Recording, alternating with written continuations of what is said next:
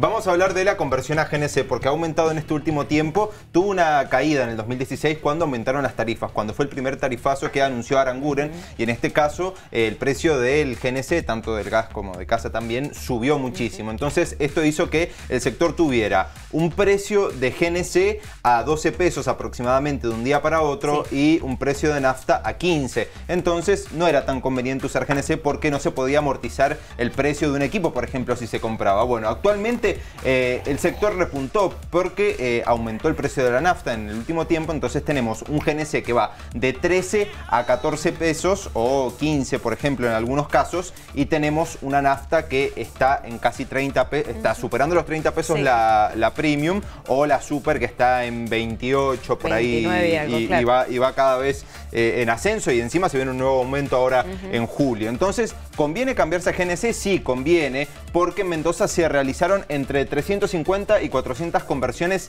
mensuales, en el último año, cuando en junio del 2017 se hacían 200 conversiones ah, aproximadamente, como mucho por mes en Mendoza. Claro, se ha incrementado de manera interesante. Exactamente, un 100%. Claro, hasta un 100%. El automovilista, según desde los empresarios del sector, aseguran que ahorra un 50% pasándose a GNC, que es el valor del equipo que se amortiza en aproximadamente 10 meses, según calculan ellos, con un uso promedio de 7 eh, litros por eh, día que usa un auto en Mendoza. Eh, se amortiza en 10 meses, o sea, en menos de un año amortizas el precio del equipo. Claro, vos hiciste esta averiguación, esta investigación.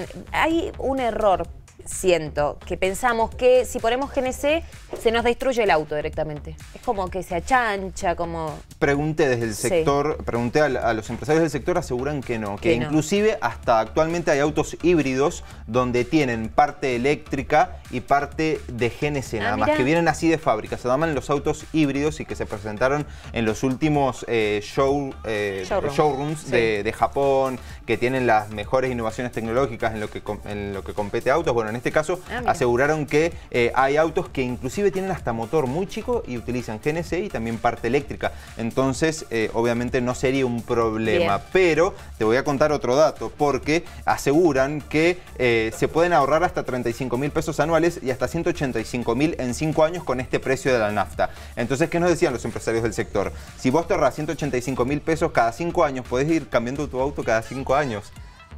¿Entendés? Tenés un auto, le pones más plata, bueno, está bien, puede, puede que sufra algún desgaste porque siempre está este, este eh, rumor, o en realidad yo no puedo decirlo porque no soy especialista, pero siempre se dice que el GNC te destruye el auto o que... Eh, ¿No te desvaloriza? claro, te lo desvaloriza porque eh, cumple otra función el GNC que es como antinatural ponerle GNC al auto, no es lo que viene de fábrica en este caso, entonces vos estás cambiando el, combustible que utiliza el auto, pero si vos te ahorras 180 mil pesos cada 5 años, obviamente podés cambiar el auto 5 eh, años después o cada 5 años lo podés ir renovando. O ir mejorando el modelo. De o ir mejorando el modelo, ir cambiándolo, 35 mil pesos anuales es mucho. Eso sí, los valores se mantienen. Exacto. Claro, si y se te suben también los precios de los vehículos. Claro.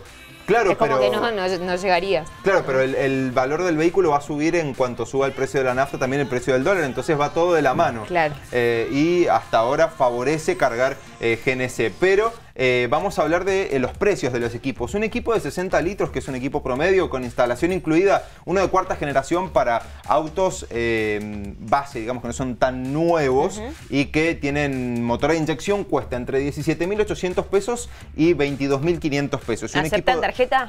Exacto, sí, ah, sí, obvio. Seguramente aceptan tarjeta. Eh, y un equipo de quinta generación eh, que son, es para autos más nuevos. Ah, bien. Eh, cuesta entre 21.500 ah. pesos y 27.500 Depende del modelo, es lo que te recomienda, si es de cuarta o quinta generación. Claro, exactamente, porque los de cuarta aparentemente tienen otro sistema, pero los de cuarta generación son para los autos que tienen motor a inyección y los de quinta generación son para vehículos más nuevos. Así lo explicaron desde el sector y estos son los precios que varían. Hay mucha amplitud entre un precio y otro. Obviamente depende de donde uno vaya a, colocarlo y cuál si va a una empresa reconocida o si va a una empresa que quizás no tiene tanta trayectoria. Bueno, y hoy por hoy depende de la promo de la tarjeta. Y de la promo de la tarjeta. Si me das promo tarjeta, yo te tarjeteo todo. Una hora 12, una hora 12, mira, hasta amortizás el precio según los empresarios. Claro. Yo fui eh, usuario de GNC, perdóname que te interrumpa en este punto específico, eh, durante muchos años. Y recuerdo que los equipos de gas aumentaban de acuerdo a la demanda.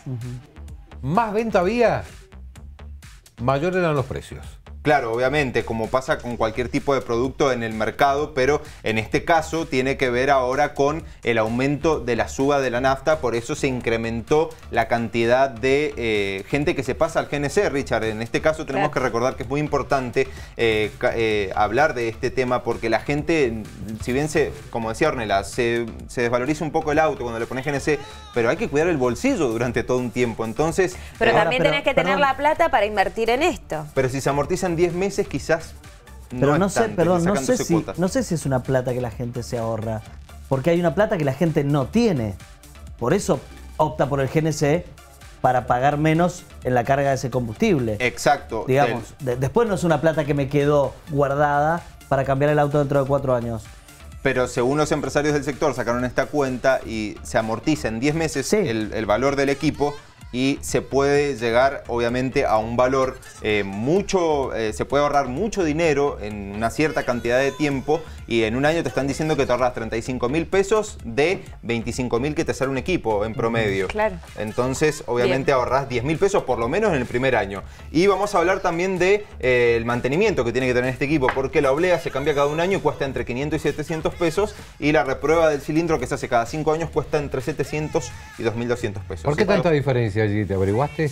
Eh, son los precios que consultamos en realidad y nosotros pusimos valores desde y hasta. Eh, aproximados en realidad, porque este valor de 2.200 pesos nos los confirman los empresarios y este fue un particular que nosotros llamamos que es una empresa que está acá en Las Heras que coloca. Perfecto. Entonces, y, también nos dieron este precio de, desde el sector, de los empresarios del sector, desde la cámara que nuclea a, los empresarios que convierten autos de GNC a, de nafta GNC y este fue el precio que nos dio el particular. Por eso también hay tanta eh, diferencia, porque este, estos precios también, por ejemplo, nos los dio el particular y este precio nos los dieron desde la cámara. Bien. Eh, para eh, la instalación de equipos. O sea que hay una brecha grande, por eso depende de donde uno vaya. Perfecto. Fede, me encantó. Muchas gracias. Gracias. Hay que destacar también, Ornella y Fede, sí. que tienen que estar autorizados. Bueno, bueno, bueno. Eh, los, bueno, bueno, acá. Los talleres que instalan GNC tienen que tener una autorización del Energas. Claro, no te lo pueden poner cualquiera. Matriculados y una autorización para funcionar como taller de GNC emitida por Energas. Si no, es un riesgo, ¿eh? Exactamente. Obvio, y además estamos hablando de ah, gas. Y por eso hay que hacer los mantenimientos también siempre y recuerden... Y los controles necesarios. Y los controles y desde la estación muchas veces no te cargan si no tenés renovado la oblea. eso también tiene que haber un control por parte de eh, los, los estacioneros. Eh, ahora sí, gracias. Gracias.